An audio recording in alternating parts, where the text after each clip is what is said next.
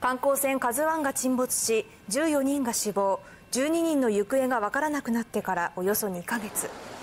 運航会社の知床遊覧船に安全管理規程違反などが19件あったとして